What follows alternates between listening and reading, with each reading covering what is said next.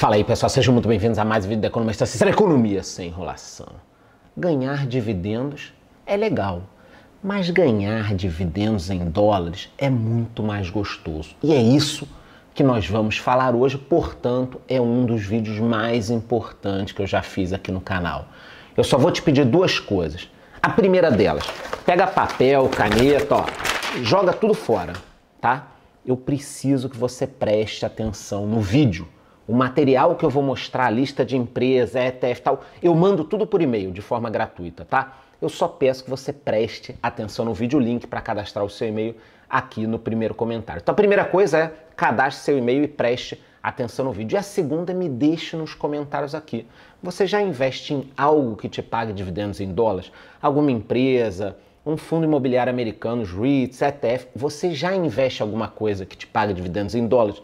Me deixa aqui nos comentários ou o nome desse ativo ou que você não investe ainda. E domingo que vem vou sortear lá no meu Instagram esse livro Essencialismo Capa Dura, mais um caderno do canal, mais as nossas bolachinhas de show. Então, cadastre seu e-mail e deixe no comentário. Sem enrolação, então vocês sabem que eu tenho essa estratégia, 90% da minha carteira com um pouco mais de segurança, 10% de risco, e estamos falando no vídeo de hoje dessa parte de segurança. Então, uma carteira focada em longo prazo. Eu vou falar um pouco dessa questão dos dividendos dos Estados Unidos, dar o nome de algumas empresas, ETFs, e depois eu farei novos vídeos com os casos pontuais. Mas vocês precisam entender por que investir em dólares, qual a importância disso. Bom, eu já não sou tão novinho, eu lembro ali do início do Plano Real, real valendo 1, né, a paridade real dólar. Depois a gente bateu 3,89, depois caiu. Isso aqui ainda tem que incluir muita coisa, tá? Aí depois subiu de novo e o real foi uma das moedas que mais perdeu valor nos últimos anos, com toda a crise que a gente vem passando por aqui, todos os problemas que os brasileiros conhecem. Então, mesmo, mesmo, eu até acredito que possa acontecer que o dólar caia um pouco, vocês viram, daqui a pouco vem uma nova crise, sobe e tal. Então não dá para não ter nada em dólar. Não dá, a gente já teve essa discussão, não precisa mais discutir. Agora a gente só precisa entender como é que investe, como é que faz e principalmente a melhor coisa é a gente começar com um pouco de segurança. Então vamos investir em algo que tem história, boas empresas, pagam dividendos e aí isso vai fazer parte dos 90% da sua carteira. Depois a gente vai se aventurar. Vocês entenderam? Foco primeiro aqui. Boas empresas, montar uma fortaleza, um, um castelo. Aí depois a gente vai brincar. Ativozinho aqui, um cannabis, uma coisa, uma criptomoeda, aí a gente vai fazer. Mas agora esse vídeo é pensando no seu futuro, em que você receba dividendo todo mês, tá? Então, a vantagem lá nos Estados Unidos é que o número de empresas é muito maior e a gente tem acesso a todo mundo, fora as classes de ativos que eles têm. Então, os fundos imobiliários americanos, que são os REITs, eles têm antenas, outdoor, locais de depósito, fazendas, Lá nós temos empresas com proporções que não tem aqui no Brasil, empresas globais. A questão da segurança e moeda forte, o hedge em relação a investimentos no Brasil. Então, se você começa a investir agora nos Estados Unidos ganhando dividendos em dólares, né?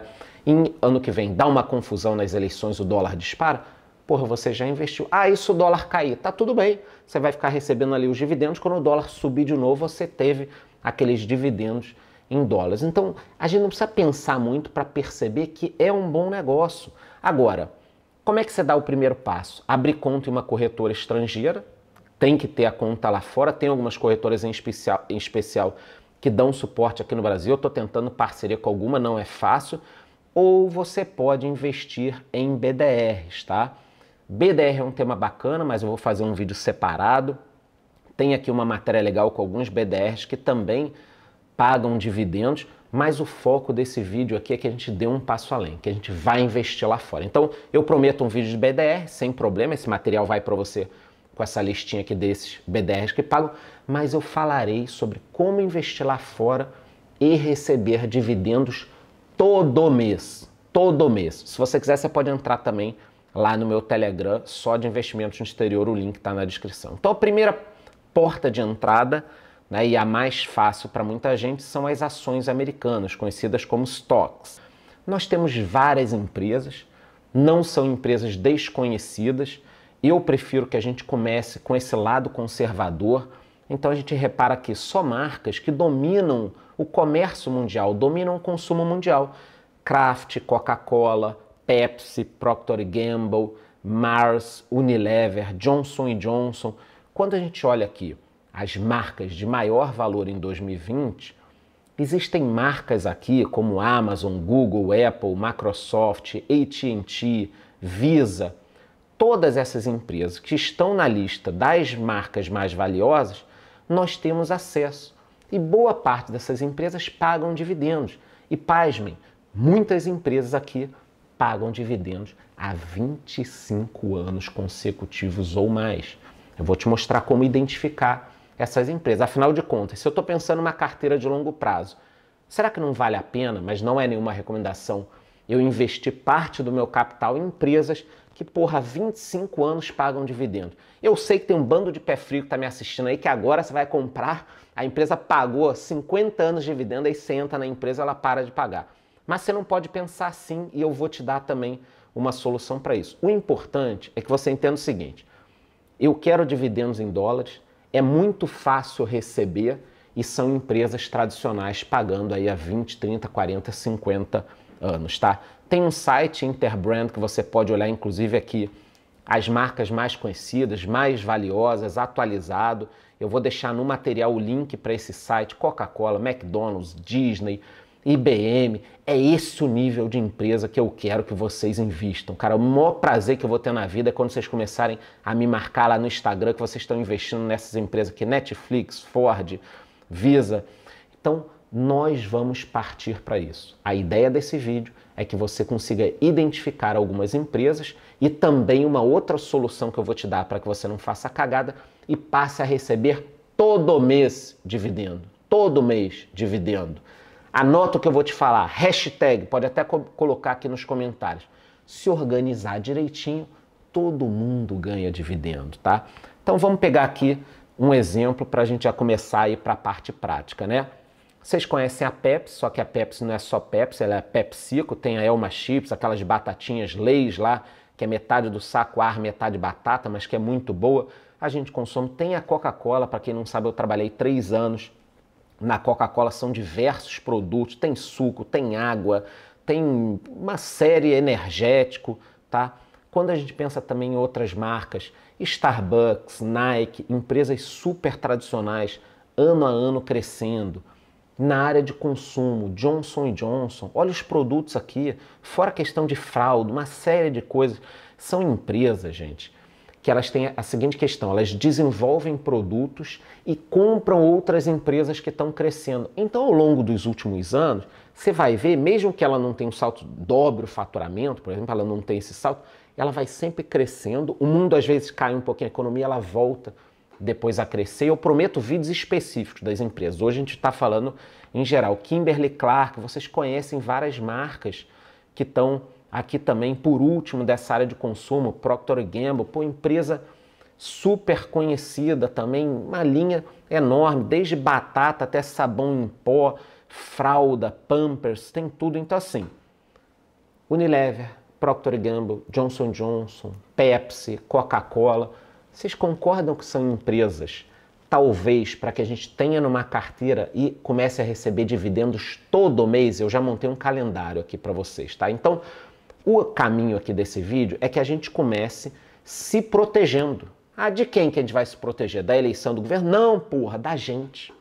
A gente tem que se proteger tendo uma carteira focada no longo prazo que eu não vá ficar comprando e vendendo toda hora. Mas não são só essas empresas. Lá fora tem outras interessantes. A BlackRock, por exemplo, que paga dividendos. Ah, Chaz, eu não conheço a BlackRock. Calma.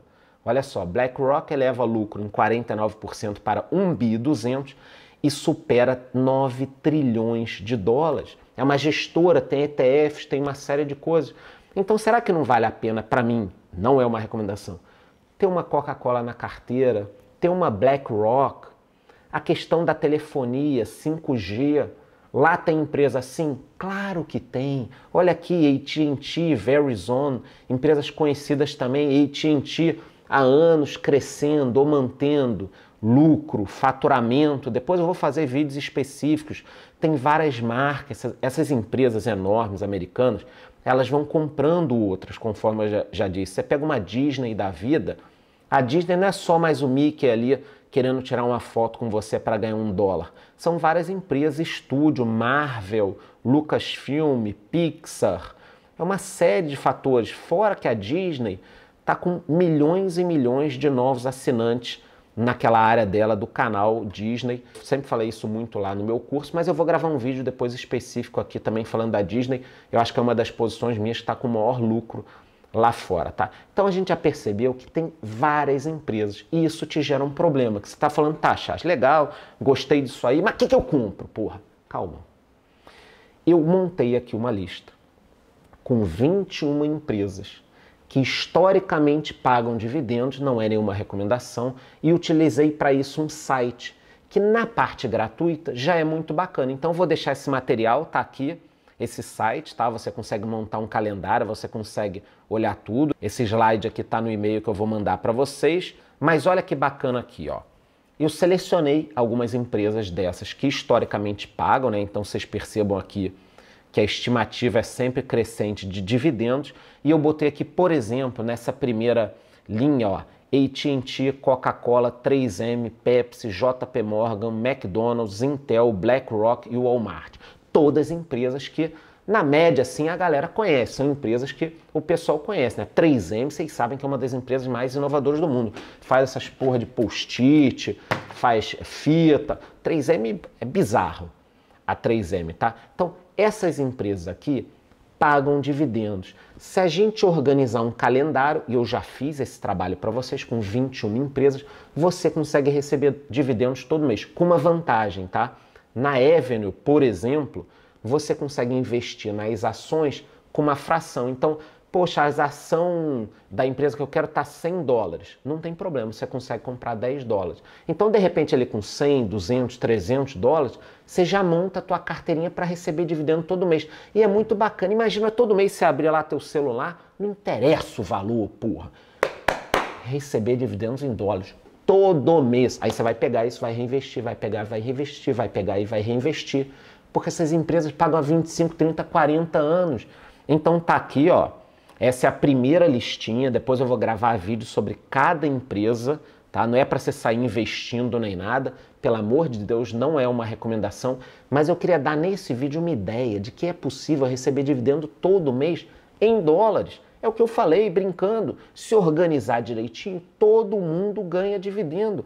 Olha só, aquelas empresas que eu já falei, tem algumas, mas tem outras. Exxon, Philip Morris, a IBM, a Pfizer, Pfizer, todo homem é grato à Pfizer, né? A Kimberly Clark, a Coca-Cola, a Pepsi, a Cisco, a Lockheed Martin, avião, foguete, tudo isso, Johnson Johnson, JP Morgan, McDonald's, empresas de todas as categorias, a Starbucks, a Nike.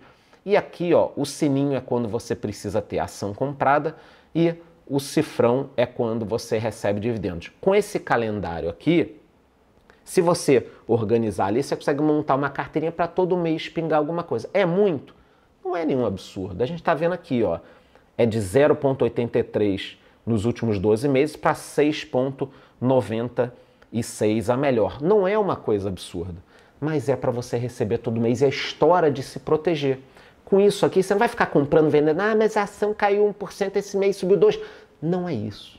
A ideia é que você tem um núcleo duro na sua carteira recebendo dividendo todo mês. A bolsa sobe, sobe, isso cai, cai, mas todo mês você vai ali engordando o seu bolo, pensando em dividendos em dólares, tá?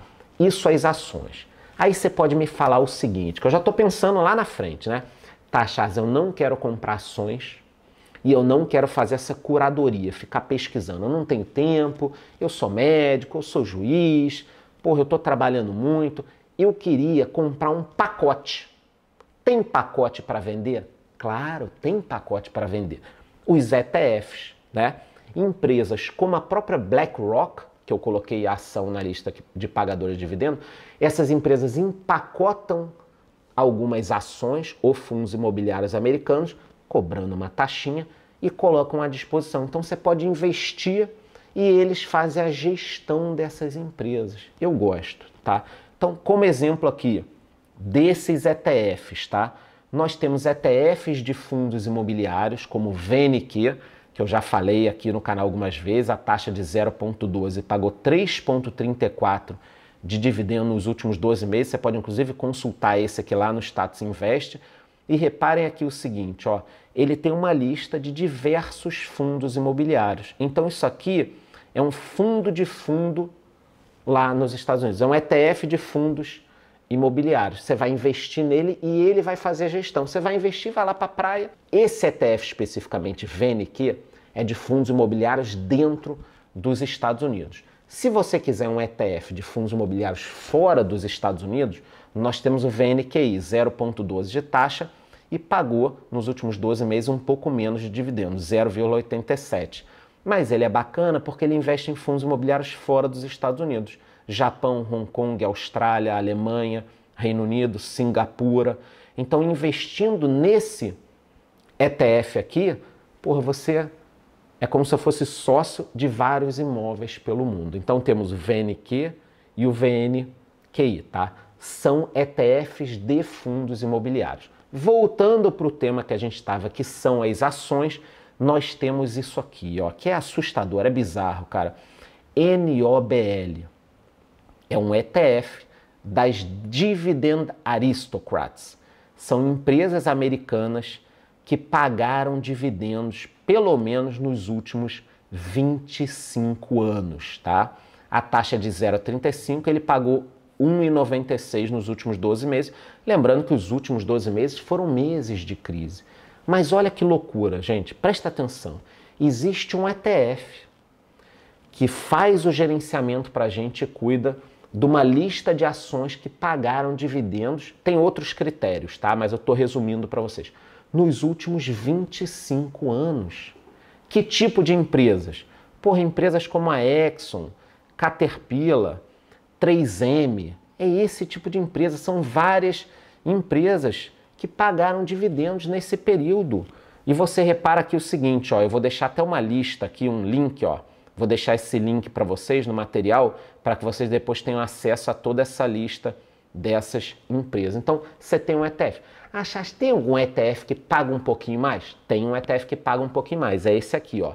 SCHD. Ele tem uma taxa de 0,06 e pagou mais nos últimos 12 meses, 2,78. Não é uma garantia que ele vai continuar pagando. E são empresas com, no mínimo, 10 anos de pagamentos consecutivos de dividendos. Então, as empresas que estão nesse pacote, nesse ETF, vêm pagando dividendos nos últimos 10 anos e são de vários nichos. Olha só: finanças, indústria, consumo, tecnologia, energia. Então, você vai investir nesse ETF e ele investe numa série de empresas. Você não vai ficar fazendo gerenciamento. Quais empresas estão nesse ETF? Olha só a lista das principais. Home Depot, mas a Home Depot tem muito brasileiro que não conhece, mas tem aqui, ó, Pfizer, 3M, Coca-Cola, Pepsi, Cisco, Verizon. Então, eu não quero fazer o investimento, já não quero, não quero ficar catando ação, pagando e tal. Você tem esse ETF, ele vai investir Coca-Cola, Pepsi, tudo mais. Esse foi meu primeiro vídeo nessa área. O material vai para vocês com essa lista das 21 empresas, o calendário bonitinho. Porra, eu adorei fazer esse vídeo, deu trabalho, mas eu adorei fazer porque assim, você precisa dar esse passo. Não é nenhuma recomendação, pelo amor de Deus. Mas estuda um pouquinho, pega esse material, eu vou tentar fazer um vídeo por mês, agora falando dos números dessas empresas especificamente, mas vocês entenderam, né? Depois de ver esse vídeo, eu te causei até um problema, porque você não pode falar que não sabe mais fazer. Você tem os ETFs de fundo imobiliário, você tem os ETFs de ações que pagam nos últimos 25. Eu te fiz uma lista com um calendário. Porra, cara, tá aí o caminho. Não tem mistério, tá? Então faça isso, baixe esse material, me diga aqui nos comentários se você já investe alguma coisa que te pague ou se você não investe. Domingo que vem eu sorteio lá no meu Instagram esse livro aqui é fenomenal, vai me custar pelo menos um dólar em dividendo para enviar, tá? Mais um caderno, mais bolacha de chopp, é isso? Gostou? Curte o vídeo, curte o canal, bate no sininho até a próxima.